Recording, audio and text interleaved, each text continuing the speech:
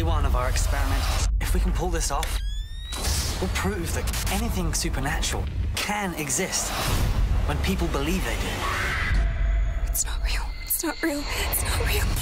The Apparition, rated PG 13.